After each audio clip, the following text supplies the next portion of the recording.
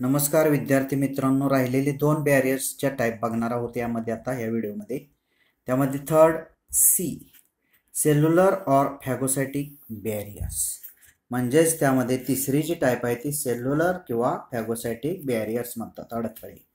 मग त्यामध्ये first point certain types of leucocytes such as neutrophils monocytes and macrophages are most important phagocytes मयामध्ये कोण येतं तर certain types of leucocytes certain types of leucocytes means leucocytes माहीत आहे ना तुम्हाला? Leucocytes means W B Cs white blood cells त्यांच्या असणाऱ्या ठराविक टाईप्स मग त्यामध्ये दोन टाईप येतात त्यामध्ये न्यूट्रोफिल्स आणि मोनोसाइट्स ह्या ल्युकोसाइटच्या असणाऱ्या टाईप आहेत.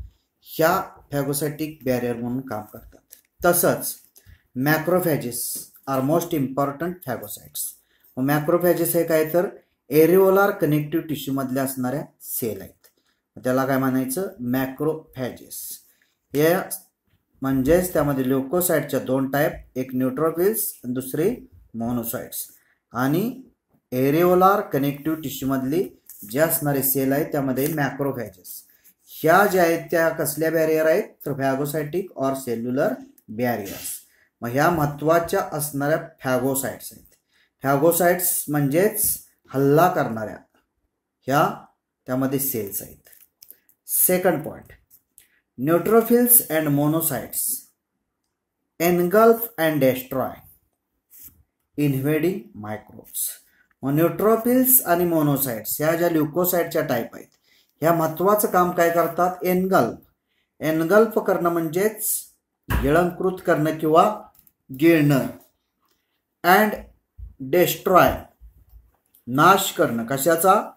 इन्व्हेडिंग मायक्रोबचा म्हणजेच बॉडीमध्ये घुसलेले जे मायक्रोब्स असतात. मायक्रोब्स त्यामध्ये कोण आहेत? तर तुम्हाला जे माहीत आहेत ते फॉरेन पार्टिकल्स म्हणजेच मायक्रोब्स म्हणजेच एनी पॅथोजेन्स बॅक्टेरिया व्हायरसेस हे कोण असतील? इन्व्हेड झालेले. त्यांना एनगल्प करणं. म्हणजेच गिळणं. आणि त्यांचा डेस्ट्रॉय करणं नाश करणं. हे काम कोण करत असतं तर? Neutrophils and monocytes these are the types of leucocytes means W B Cs white blood cells or corpuscles third point macrophages engulf microbes and cell debris त्यामध्ये एक्झाम्पल काय आहे तर Kupffer cells of liver macrophages या areolar connective टिश्यूच्या असणाऱ्या sale आहेत. यांचं काम काय असतं? एनब एनगल्प करणं. कुणाकुणाला एनगल्प करतात? तर मायक्रोब्स. म्हणजेच ते जे मागास सांगितल्याप्रमाणे असणारे पॅथोजेन्स जर्म्स वगैरे काय असेल ते. आणि सेल डेब्रिज. मग सेल डेब्रिज म्हणजेच डेल से डेड सेल्स. ह्यांना एनगल्प करण्याचं काम मॅक्रोफॅजेस करतात.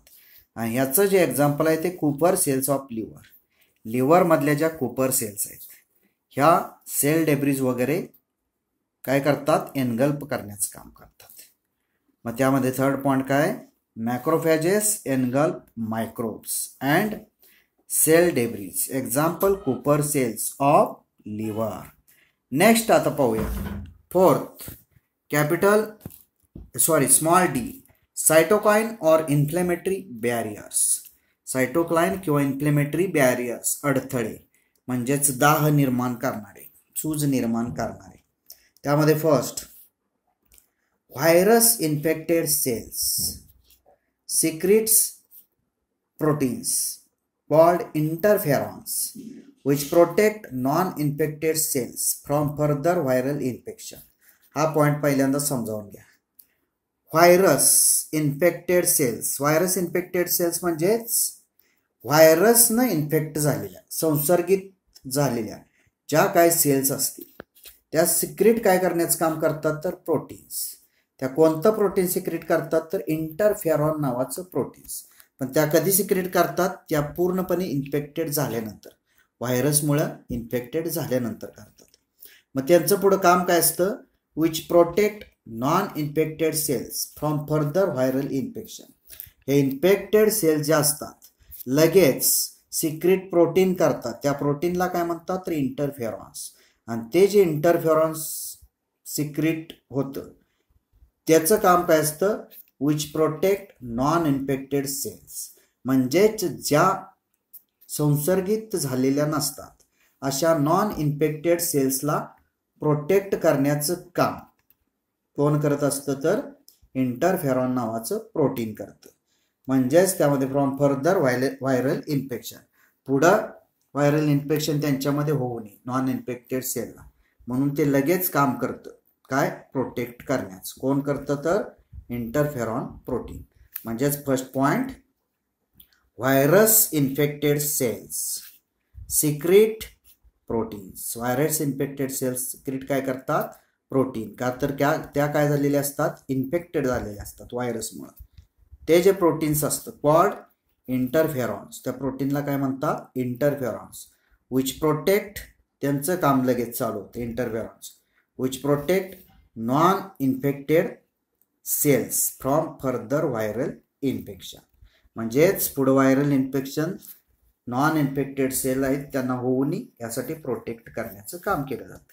आणि second point damaged mast cells of connective tissue and basophils of blood release certain chemicals such as histamine and prostaglandins. These chemicals dilate blood capillaries and make blood capillaries more permeable in region of tissue injury.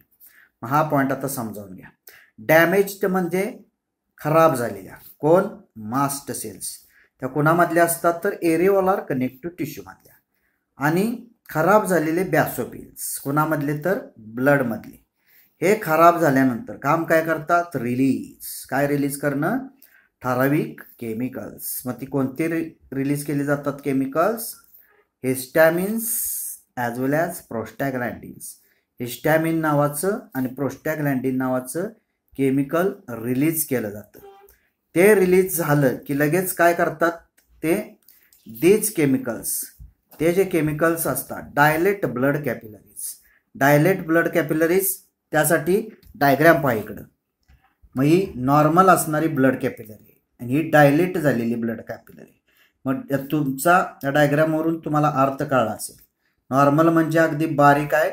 Dilate म्हणजे त्याची रुंदी वाढलेली असते. हे रुंदीला कमी हे रुंदीला जास्त होते. पसरते. डायलेट होणं म्हणजे पसरणं. हे पसरायचं काम कोण करत असतं? ती जी केमिकल्स असतात ती.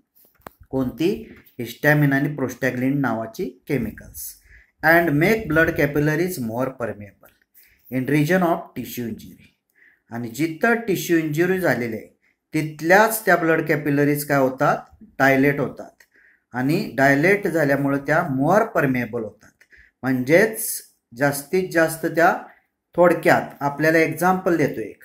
फुगा. फुगवण्याच्या अगोदर नॉर्मल असतो. आणि त्याचा रंग गडद दिसतो. माहीत आहे तुम्हाला? खेळला आहे तुम्ही लहानपणी फुग्याला. मग तो फुगवल्यानंतर तो जो डार्क कलर असतो तो डार्क कलर नॉर्मलला असताना डार्क दिसण्याचं कारण ते जे रबर आहे त्यावेळी तो नॉर्मल स्थितीत रबर असतो. आणि फुगवल्यानंतर रबर ताणला जातो. म्हणजेच त्यामध्ये इलॅस्टिसिटी निर्माण होते. तन्यता. आणि ताणल्यामुळं तो रबर पातळ होतो. आणि पातळ झाला की तो आपल्याला कसा दिसतो? परमेबल त्यामुळं त्याचा कलर कसा दिसतो? फेंट तसंच काम ह्या ब्लड कॅपिलरीचं आहे. म्हणजेच त्या डायलेट झाले की मोअर परमेबल होतात. जिथं टिश्यू इंजुरी झालेली आहे तिथं. म्हणजे second point damaged mast cells of areolar connective tissue and basophils of blood release certain chemicals such as त्यामध्ये दोन chemicals histamine and prostaglandins these chemicals dilate blood capillaries आणि ती जी केमिकल्स असतात ती काय करत असतात? ब्लड कॅपिलरीजला डायलेट करत असतात. And make blood capillaries more permeable in region of tissue injury आणि जिथं टिश्यू इंजुरी झालेली आहे तिथं ते जे ब्लड कॅपिलरीज आहे ती मोअर परमेबल झालेली असते. मग यासाठी हा डायग्राम कच्च्या. तुमच्या वहीत काढून ठेवायचे. एक नॉर्मल ब्लड कॅपिलरी दाखवायची आणि दुसरी डायलेट झालेली ब्लड कॅपिलरी तिथंच लहान काढून दाखवायची. यामध्ये एवढंच. धन्यवाद.